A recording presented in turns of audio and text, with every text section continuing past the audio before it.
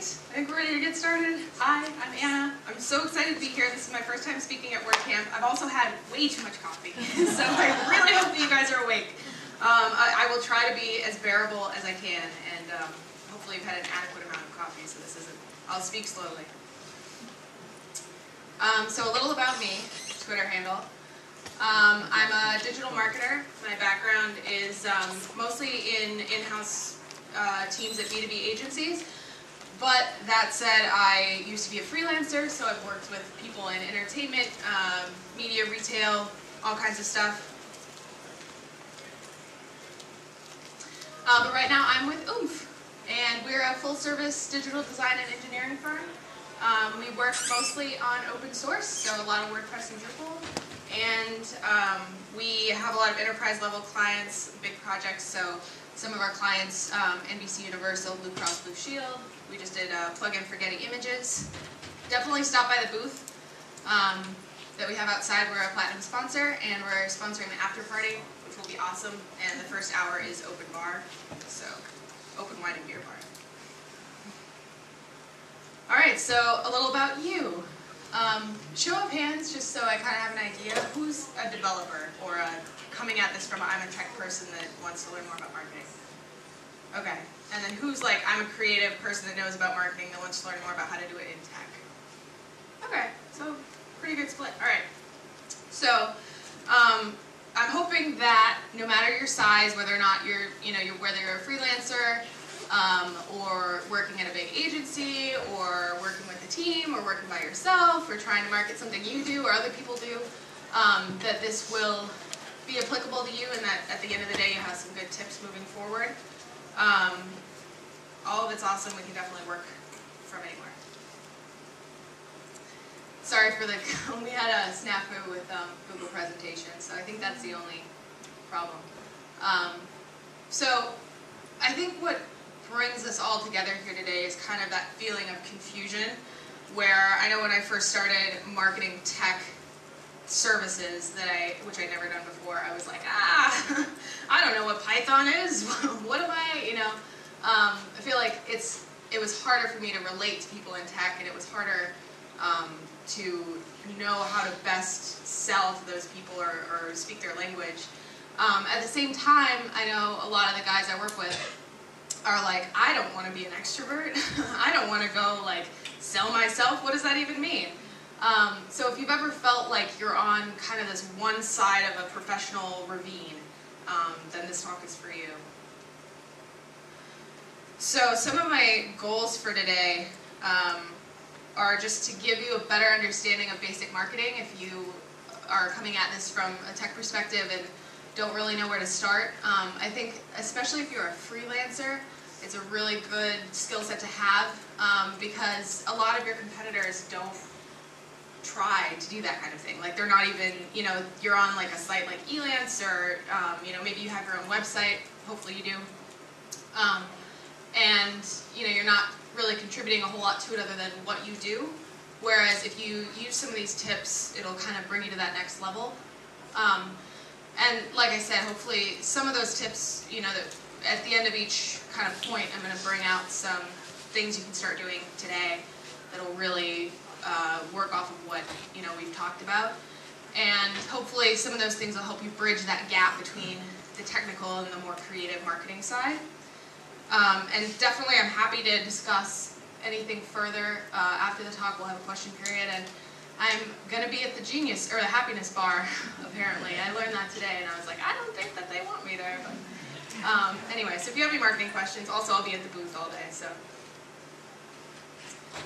All right, so with that, I think we have a lot to get through. Let's dig in. I hate marketers. I hate what I do sometimes, and I hate the people that I do it with sometimes. I hate myself sometimes. No, um, you know, when you think about it, like, we, there's like this beautiful little infant creation of a thing born, and the marketers are brought in to just like suck the life out of it and just make it like appeal to everyone and just dumb it down and make it like awful. So I understand if you're coming into this being like, uh, I don't, I don't want to do this, but I feel like I have to.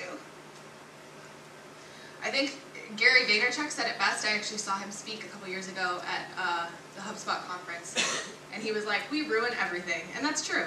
Um, because, like I said, you have this really cool new technology, you have this really cool new product, and um, everyone's really excited and optimistic about it. Excuse me. Um, and then all of a sudden, you're seeing it everywhere. You are getting invited to like it on, like it on Facebook, and you're seeing it on subway ads, and you're seeing it on the TV commercials that you like don't even care about, and so it's like this constant bombarding um, of messages, and um, you know that's the reality. That's not just you. Everyone is sick of hearing, "Oh my God, download this now, try this, buy me, fill out this form, and you can get this." Twenty years ago, people were, you know, cold calling and putting up flyers and putting up, I mean, people still put up billboards, but billboards were a big thing because that's how we communicated. Now we have the internet, social media, we're downloading things, we're using content marketing. And so even in those like new frontiers, people are getting sick of hearing all these messages. So in a world where everyone is being talked to, talked at all the time, how do you reach these people? And that's five secrets of tech marketing, what they're for. I in the, in the um, schedule, I know it says the five secrets of tech marketing. I took that out, and I wanted them to take it out. Didn't get the change in time because this is not. I'm not claiming to have like all the answers, and this is like the five things you need to know. Um, this is just kind of like five overarching philosophical principles that you can start working with, and that are really going to set you apart from the people that are just like. So, here we go. Number one, sit with the developers.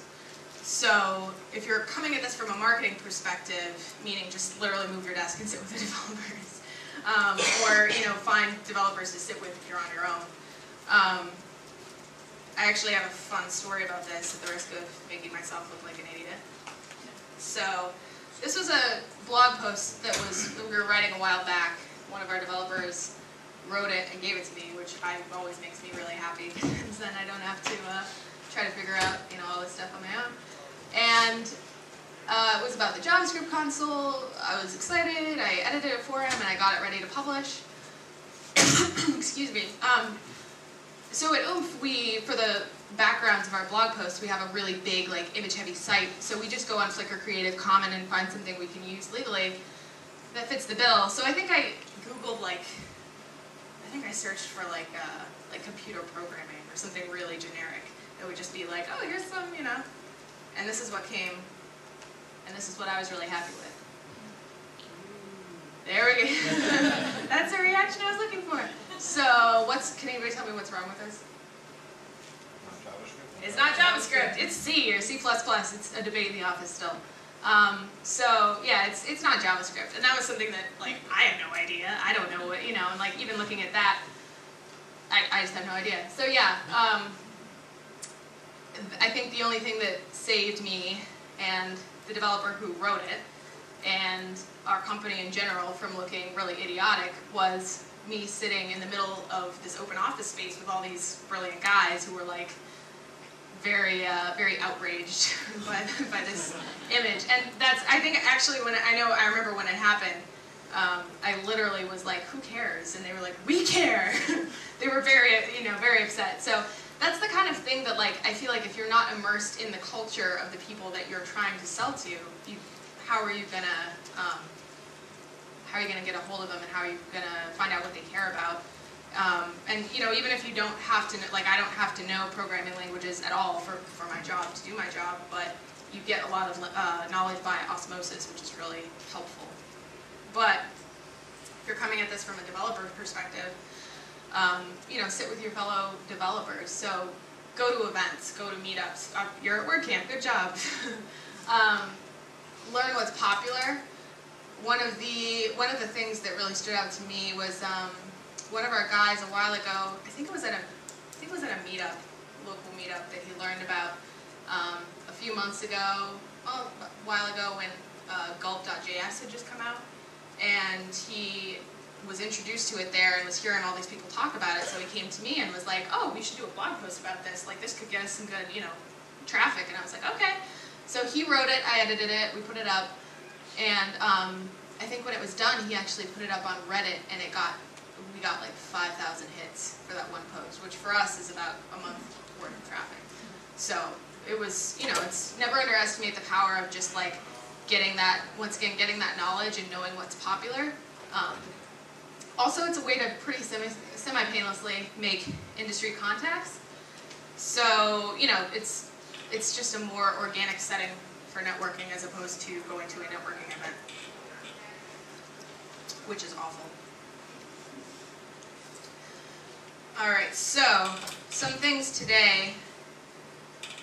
Um, oh, I did want to say real quick about the the sitting with your fellow developers thing. As a developer, um, I, I think one of the big draws of that is that the people that are decision makers for your services, so the people that you're trying to buy from or sell to, or I mean, sorry, the people you're trying to sell to are, um, you know, going to be impressed by you knowing a lot of what's going on in the industry. So if you're a person that clearly gets the trends, that sometimes that's all that they have to go off of.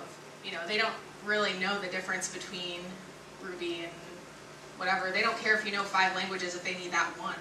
So if you have something like this where you know you're clearly in the know and you're um, you have connections and that kind of thing, then they're going to be more likely to uh, look favorably on you. So some things today um, that I would just start with on this point is you're at WordCamp, so really take advantage of the things that you're hearing, um, you know, the, the sessions that you go to in terms of like what's popular, what are people talking about. Um, definitely make some industry contacts. the after party, like I said, open bar, so really good, uh, really good time for that. And if you're not already really involved in Meetup on Meetup.com, definitely go to that. I know there are there are also some um, local like kind of project groups that are blossoming. Um, so those are def and so don't feel like I guess my point with that is don't feel like you can't go on Meetup or you can't go to meetups where developers may be because you're a creative person or a marketing person because more often than not those people really need um, they're really happy to trade for services like writing or design or even branding that kind of thing um, so definitely look for you know don't go to like a really specific language meetup maybe but look for a WordPress user meetup or look for a, um, you know, whatever, Boston Tech meetup, something like that. If you're coming at this from the creative perspective and you live in an, or you work in an office, move your desk. Sit with the people that you're marketing, you know, whose services you're marketing. Um, and then definitely take all of that information that you get and post a blog post to Reddit, I recommend. Um, if you're, you know, involved in Reddit, don't just, it's a scary place to just go. Um, but you know, talk on your team, find someone who has a, a presence there and kind of knows way of, lay the land, and then go. So number two is to just remember the everyman, meaning remember the people and content market to the people that do not know specific things that you're trying to, you know, really specific technical topics. I think when you're trying to show that you're a really savvy WordPress developer who has expert knowledge and you know blah blah blah, it's easy to get bogged down in that content that's really like highbrow and definitely keep that up. I mean, you want to you want to show that you're knowledgeable, but at the same time, the things that get the most traffic are the things that are really basic. So I think we've all seen this quote from Albert Einstein, but like seriously, um, you should be able to, to explain what you do very simply. And um, if you have a, a topic that you want to write about, you should be able to make a highbrow version and a very simple version for people that don't know what they're doing. Also keep in mind, and I mean this isn't across the board, but a lot of times people that are the decision makers, the CMOs, the CEOs, whatever, if they're hiring you, they probably don't know what they're doing. So if you can appeal to them in a way that they feel like they can understand it, um, and they understand what you do, and it's not just like a bunch of jargon and you're gonna trick them or something, then they're way more likely to um, go for you and get on your site. So meaning, these are a couple blog posts from the site. So like, script underscore debug in WordPress. Great post. Who's going to read it? Developers. 10 ways WordPress is the best CMS. good post. Who's going to read it? A lot of people. Um, WordPress users, bloggers in general, people with big companies that are on Drupal that are thinking about switching. So this is like getting them earlier on, not assuming that they know this like really intense stuff. And I mean that like the first one would be good if they had an in-house technical team. So if you're looking at like a big client, that's a good way to get them. Or if, you know anybody with a CTO probably, but you can demonstrate knowledge to that'll appeal to a, a wider array of people here. So um, if you're a marketer, it's probably pretty easy to think of ways to dumb this stuff down because you like that's how you take it in anyway. At least I'm I'm assuming that you're like me. That's probably not a good thing to do, but I know about like, like more about the My Little Pony franchise. I feel like than I do about web development sometimes. So um, if you're a developer, one easy way to do that is to get visual. So take any content you have and make it visual. Here's why. These are some amazing statistics from accredited, you know, 3M. Oh, I'm sorry, that last one got caught up. That is a can't remember who that is. I think it's like some kind of like Gallup thing, some big thing. Um, so, I mean, this is crazy. Like, visual information is processed 60,000 times faster in the brain. It's just like immediately taken in. And viewers are way more likely to purchase, to engage with a post, to engage with a page if it's got some visual content on it. I mean, another just practical benefit is social media wise, people are more likely to share visual content. It's sexier. It's easier to just be like, share this infographic. You get like you can get the gist of it just by looking at it. You don't have to read a big article. Um, also, if your pages have um, visual content on them, then even your social media pages, then they're more likely to be picked up by search engines because of the variety of content on there. So it's going to boost your SEO too. So here are some, I mean, just simple ways to do this create a video case study of your client telling what you did for them and how great it was. Put some numbers in there about like their engagement increasing or their traffic increasing or their sales increasing. Um, hold a photo contest on social media if you're probably not if you're a freelancer, if you're a bigger part of a bigger company. Um, you know, create your own hashtag and get people to use your product and show on Instagram, on Facebook. Make an infographic. I'm a really big proponent of infographics. They're very, uh, that's a great way to explain really complicated concepts. Um, so some things to do today are just think about ways that you can um, start going visual. So are you big enough that something like Instagram or Pinterest or YouTube, not even YouTube, YouTube you could put case study videos, but Snapchat, that's a thing. Um, are you big enough that those would work for you? Or do you have a physical product that you could show off on Instagram as opposed to just yourself on a laptop?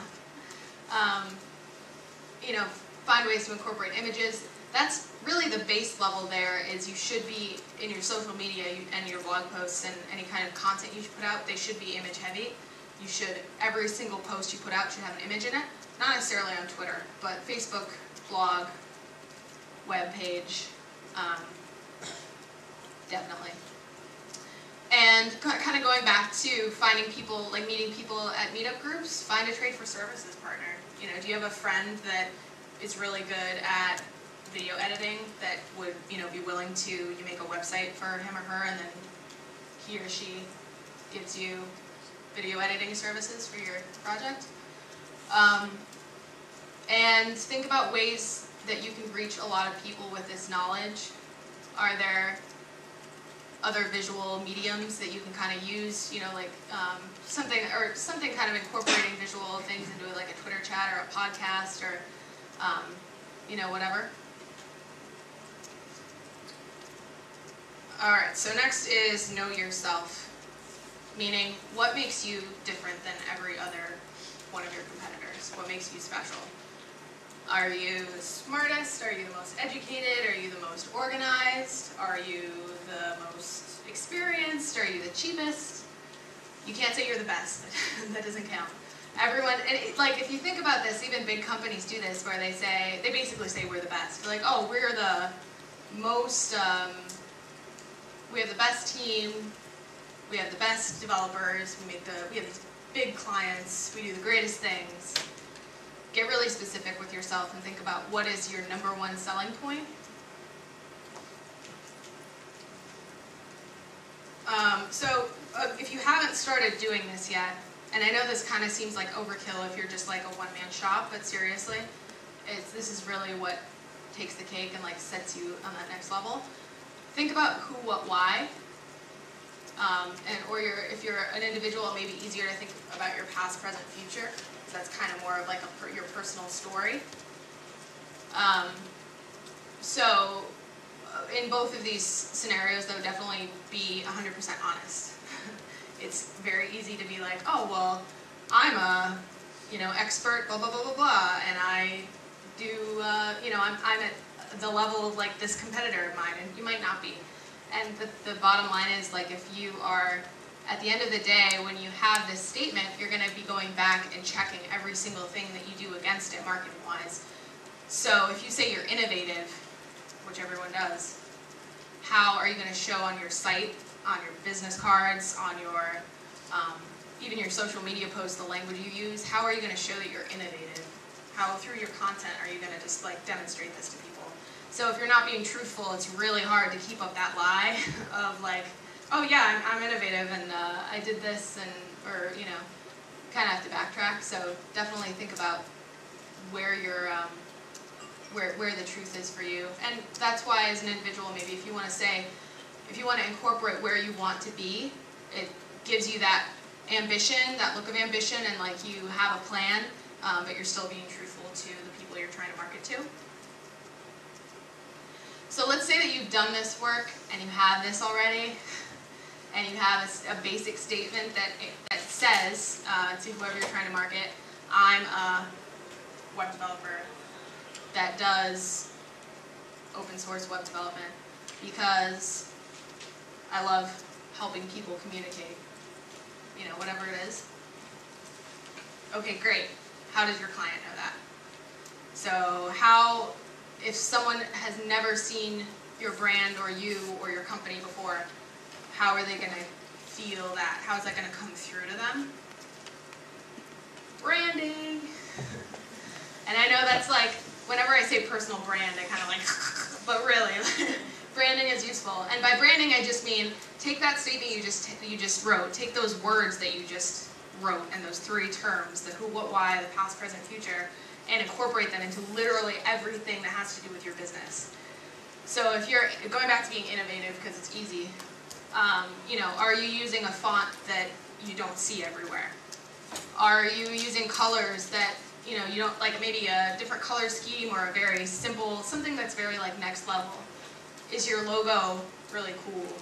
Are your business cards different? Maybe it's not even a traditional business card. Maybe it's like the other day I saw this. Um, it's a recycling company and their business cards are like recycled scraps of things. So it's like they take a stamp and like stamp a piece of cardboard. Something like that is like, that's innovative, that's cool. Um, you know, stationery, PowerPoints, logos, website, how you talk about yourself. Uh, when you're at a conference and you give people an elevator pitch, how you write about yourself on your website, every single thing you do. And that's why it's so important to be truthful because if you're not, eventually you're going to slip in one of these areas and then you're gonna look like um, I don't know, someone that's not truthful. Like sometimes I'm trying to think of an untruthful brand. Honestly, half the time when I see the Microsoft ads now for like the Surface, I feel like that's very weird. Like they just took a 180 and now they're dancing around and snapping things together and I don't know. It doesn't really seem truthful, but all right. So today, things you can work on. Start to ask those questions um, make sure that you're telling the truth when you ask those questions. Ask your friends, ask your coworkers. Think about what channels you have available to start making those questions known. So start incorporating your brand. So if you are a freelance developer, maybe you don't want to use like social media. If you have it already, that's cool. But um, you know, is, is that really going to be the best use of your time to like have a Facebook page just for you that has like 10 likes? Maybe it would be better to go to, to an event and like WordCamp and talk to people, whatever. Um, and then start incorporating that story that you wrote into your website. So once again, just every single thing that you do, check uh, back against your brand. Think about, okay, does this word come out in this area of my website? Does this phrase come out in the way that I give PowerPoints to new business? Stuff like that. All right, so number four, rely on ROI, meaning return on investment. So the marketers in the room, I'm sure know this phrase because it gets drilled into your head by any superior you've ever had. what is the return on the investment? What is the ROI of this Facebook post? What is the actual monetary value of this time that you're spending? Is it worth it?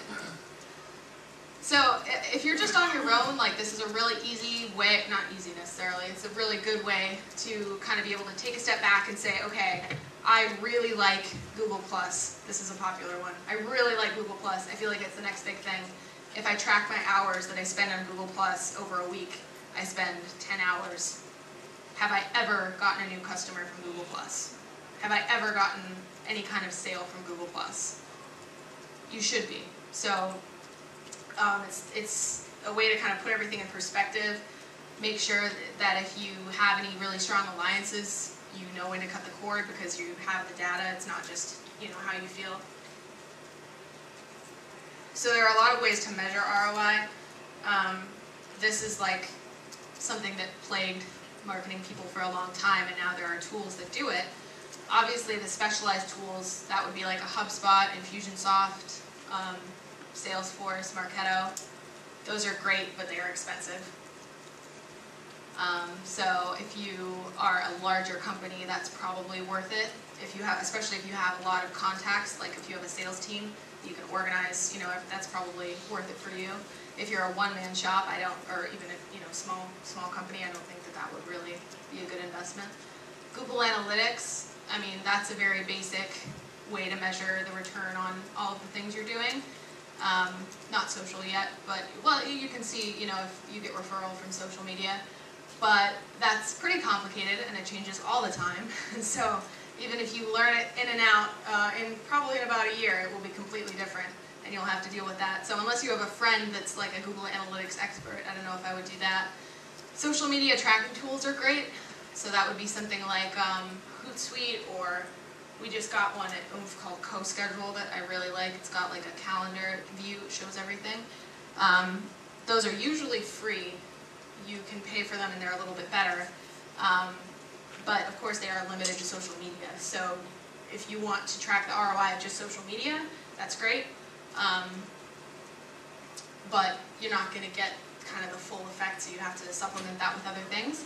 And then the, the other thing is just like promotion codes. So if you meet somebody at uh, WordCamp that later turns out to be a sale, if you put a special um, you know, URL extension on your business cards for a certain event, or if you have um, you know, a Facebook post that is like, use this promo code and I'll give you 5% off my services or something, then you can easily track where those new people came from.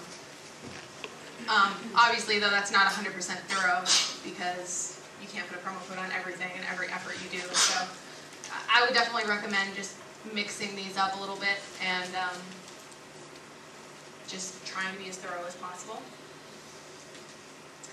So another way to think about ROI and how and kind of to make sure that you're getting everything is to think about your sales in terms of a funnel. So some of you probably heard about this. This is just, it's meaning that the top of the funnel is getting everybody in as fast as possible.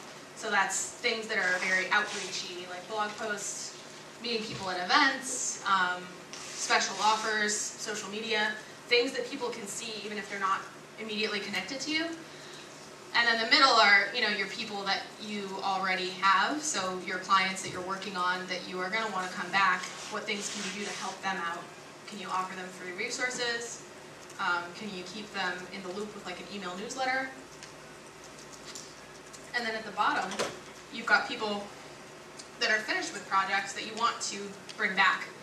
So, um, you know, what, once again, what kind of things can you do for them? For every marketing effort that you have, I think you definitely need to go back and say, okay, what funnel cycle is this for? Who am I going to help get to the next funnel cycle? Because that's the idea you're trying to push people through. How am I going to, you know, who am I going to push through with this? And you also have to think about your specific business because, I mean, some people, if you're doing like really short projects, it's all about traffic, right? You want to get as many people in as possible really quickly, in and out, and then hopefully they come back if your services are good. If you are a bigger agency and you're talking about like, you know, big projects that take months and months, that's more about repeat business. You don't really care as much about the outreach stuff. You're talking about the the special offers, the getting people to come back, the loyalty programs almost. So this is a really good um, visual from Kuno Creative, and it just kind of shows what I'm talking about here. And it's got some specific examples of things you can do.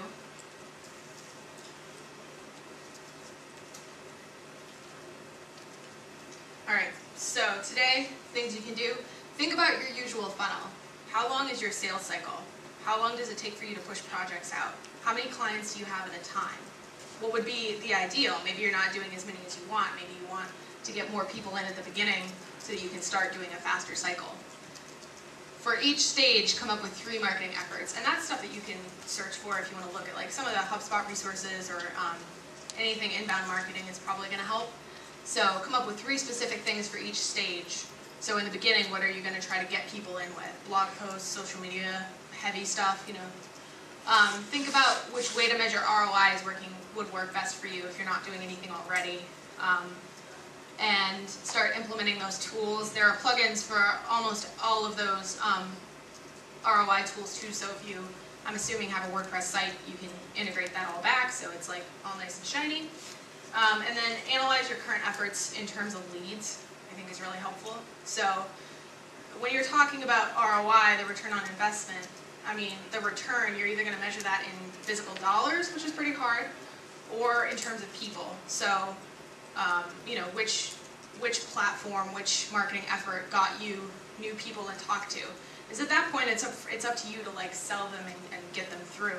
But if they came to you, there was a reason. So uh, I would consider that a, a conversion, but think about that for yourself. Is that, and at the same, on the same note, um, you know, thinking in terms of Google Analytics, everybody has a conversion that Google Analytics can measure, but for you, is that a web form that they fill out? Is that that they physically call you? Is that that they just go on, um, I was talking to somebody this week from Green Banana, it's like an SEO firm, an expert, whatever that means. Um, and he was like, you know, if he said he worked with a lot of car dealerships for some reason, and they all thought that a conversion was just going to their webpage, which seems a little liberal. But it's different for everybody. All right, so the last point, the last secret, is good marketing is just about people. It's talking to people in a way that makes them want to listen and makes them want to talk back. So just be a person. Don't think of it as like this big crazy uh, sales initiative and uh, business thing and whatever. Sometimes it's easy to get really buried in the ROI and the strategy and the metrics and the Google Analytics stuff coming at you. But I think at the end of the day, you have to analyze your efforts and what's working in terms of, is it something that would reach you? You know, so if you are, if you go on Facebook and you completely ignore the Facebook ads and you would never dream of clicking on one, yet you're spending money on Facebook ads for your business, that doesn't really make sense. So you have to think about what works for you um, and what, what wants to make you listen. Also, for the marketing people in here, I think, um, you know, this is something you probably already know, I hope. But if you're working in tech, it's a little harder because, um, you know, you're coming from, you're, you're marketing this service that's very cold and very somewhat impersonal. Um, you know, it's a technology. It's not a it's not a communication thing. It's not a um, you know, it's not something that easily relates to all people.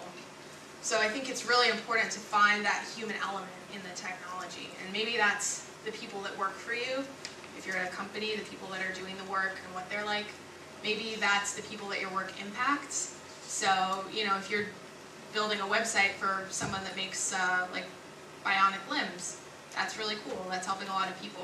That's something that connects with people, like on a deeper level. One thing is, this is kind of illustrated by the golden circle, which there's a really great TED talk on this uh, from Simon Sinek. And his, his idea is that people don't buy what you do or how you do it, they buy why you do it. So he illustrates this, and I think this is the, a very easy example with Apple and Microsoft. So um, back in the day when Microsoft or when Apple started marketing to people with this, like everybody knows that ad, right? They were the underdog. They were the change. They were breaking the status quo. Even today, like last night I googled them, they're revolutionary. right? And if you, it's funny now because Microsoft is like caught up, and if you Google it, Microsoft's thing right there is literally like, we love empowering people to find solutions, and it's just totally like uh, the epitome of this. But yeah, so the, the point is that Apple appealed to people not from, okay, well, we make really great computers, and you should buy one. They appealed to them from, we are changing the status quo, we're something different, we're the anti-PC, um, you know, we're for people that want, that are about the promise of the future and the promise of technology. And that's why we don't even, like, Apple is an everything brand now, it's a lifestyle brand. We don't think of them as just they make computers. Um, so, in layman's terms, oh, I like this graphic. The market for something to believe in is infinite. It's true. People like Hawaii. In layman's terms, this is American. Oh man, I had an image of like a guy uh, auditioning for American Idol in a slave Leia costume. I was really excited about it because he was like it was very disturbing. Um, so American Idol syndrome, meaning that talent is not enough. So if you, this goes back to the, the branding stuff that we were talking about. If you're like, I'm the best, great. There are a lot of people on American Idol that I think are the best that never win or never even get to the final because they don't have a good story. Like you have to have a serious, you know, I had a struggle and I overcame it and this is why I deserve to win. You have to have like something else to really tug at people. Otherwise they're not gonna I mean, you'll, you'll do business, but you're not going to be above. And that's really, I know, like, once again, I think I can understand if you're a person on your own, this might seem a little like, really? I need like a statement of purpose and, you know, that kind of thing. But seriously, this is the kind of stuff that gets you to that next level. Because people would rather buy from someone who is like, I love empowering people to communicate with their clients better. Or I love helping people navigate the world of technology versus I love WordPress development.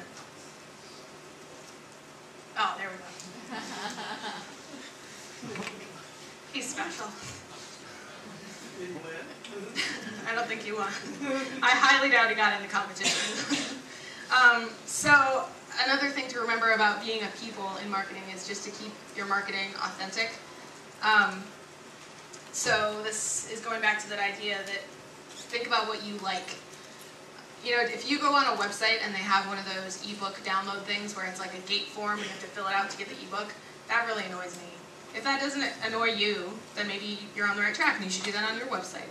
Um, but it's just kind of common sense to, you know, you have to think about what you like and start from there because market research is expensive. And at the end of the day, good marketing is about people.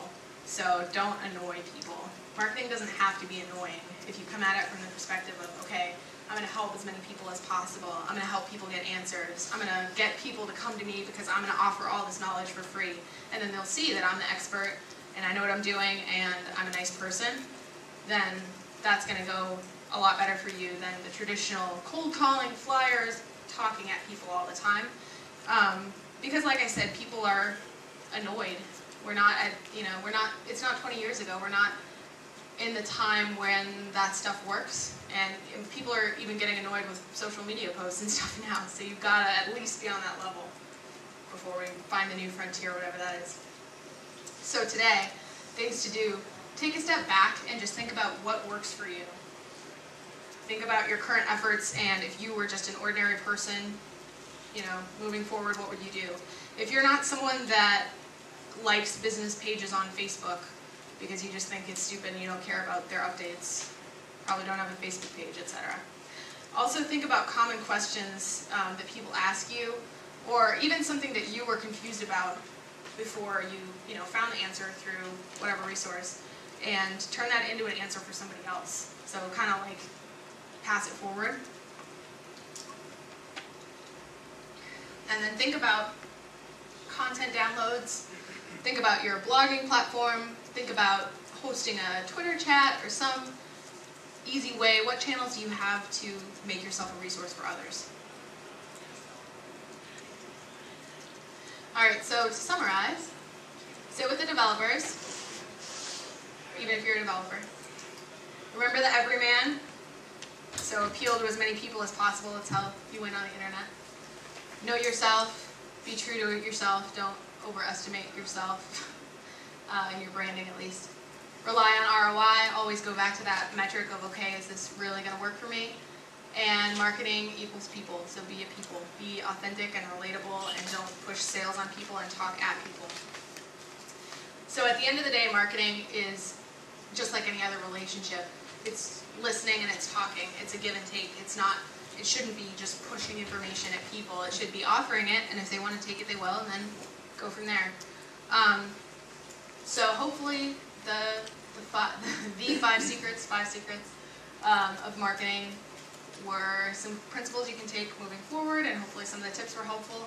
Um, like I said, I'm definitely available to talk more during questions, and then at the happiness bar and at the oomph booth and at the after party. I might not remember it tomorrow, but uh, at the after party. And um, yeah, just definitely any marketing effort that leaves you with a good conscience and feeling genuinely like you helped somebody and you feel good about it is what you should go forward with. So, thank you.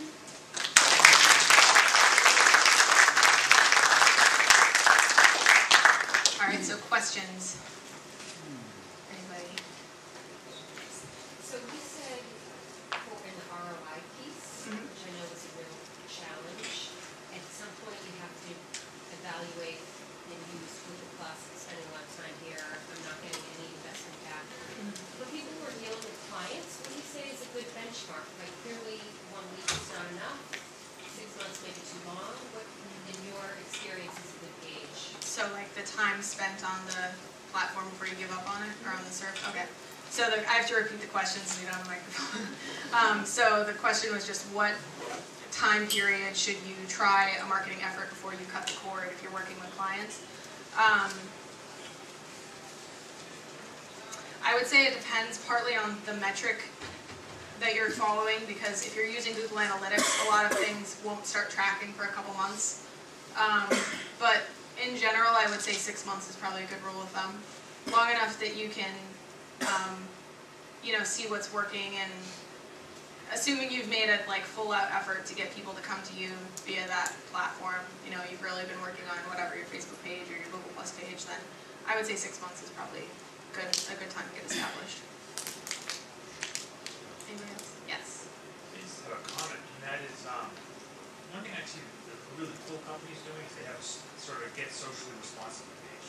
So they're giving back page, is not just giving back to the community, like the WordPress community, uh, which is cool, so all the things, that the, all the things you've built to back to the community, but also giving back to your local, whatever your company decides that their social focus is, and then using that content also, uh, for your Twitter, your content, social media.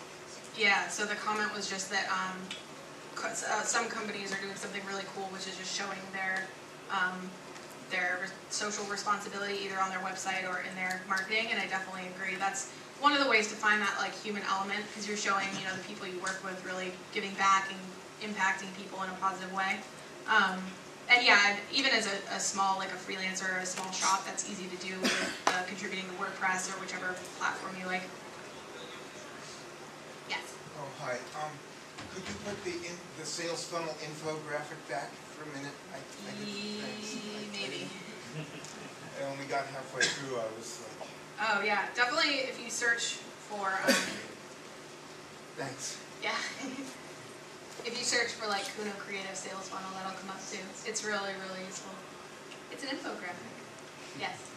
Yeah, I find that if I'm a marketer or a developer, and I go to those events, Mhm. those people are either my competitors or collaborators. Okay, So I try to go to as many different venues as possible if I'm looking for customers. right. I, okay, yeah, so the, so the question was, um, just going to meetups and stuff like that, you are usually with your competitors or your, um, collaborators. And I definitely, that, yeah, that's definitely true, and that's definitely not something you should do to find sales, because those are people that, I, I, well, I mean, it depends on your level though, at times, you know, there are people that are gonna pass it back to you and say, oh, this client was too big for me, can you take it, or something like that, they don't have time, so it's good to make those contacts either way, but I agree. Anybody, yes, Do you have any suggestions on how to market to marketers? sorry, say that again, how to market to marketers, suggestions on how to market to marketers. Um, I mean, that's kind of the cobbler's shoe, right?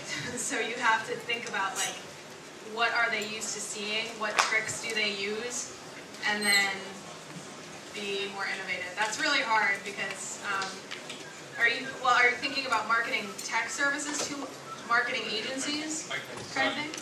so I work in IT, Okay, but they, these we support uh, marketing company, they're digital marketing companies. So okay, gotcha. So you're doing like development for them, um, it's more assistant support, or su- build out, support, but okay. uh, Sorry, I gotta wrap it up. Okay, yeah, um, so, let's see quickly. Um, definitely think about their skill level. So digital marketing is not the same as IT savvy, case in point. So, um, if you, you know, what are some of the problems that they experience? Talk to, just talk to people that you've worked with before and think about what were the questions they had coming in to the project? What are some of the common things that you get on your website, like common questions that you get through email or when they talk to a rep or whatever? And make content that gives them those answers so that you're immediately like the god of answers. I would say. Hard though. All right, we gotta wrap up. Thank you.